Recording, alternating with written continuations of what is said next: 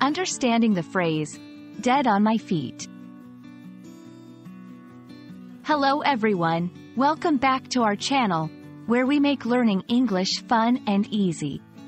Today, we're going to explore a fascinating English idiom, dead on my feet.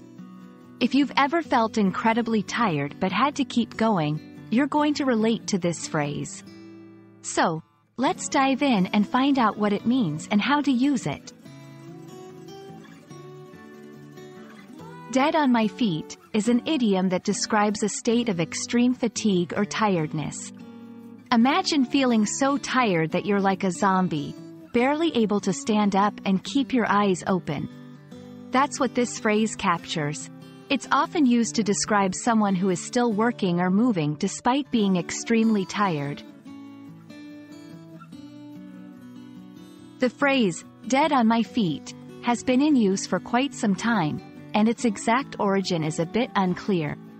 However, it reflects a very human experience, feeling so tired that you feel almost lifeless, yet you're still standing and trying to function. This idiom is a dramatic way of expressing that you're running on empty. Let's look at some examples to see how this phrase is used in everyday conversations. 1. After working a double shift, I was dead on my feet by the end of the night.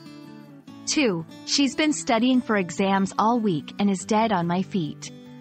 3. Despite being dead on my feet, he continued to finish the marathon.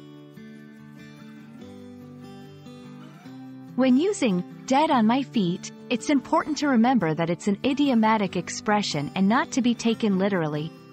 It's best used in informal settings or conversations. Also, it's generally used to refer to oneself or someone else, but not inanimate objects. And there you have it. Now you know all about the phrase, dead on my feet. It's a colorful way to express that you're extremely tired but still pushing through. We hope this video has been helpful and adds a fun phrase to your English vocabulary. Don't forget to rest when you need to, and not just be dead on your feet. Until next time, keep learning and stay curious.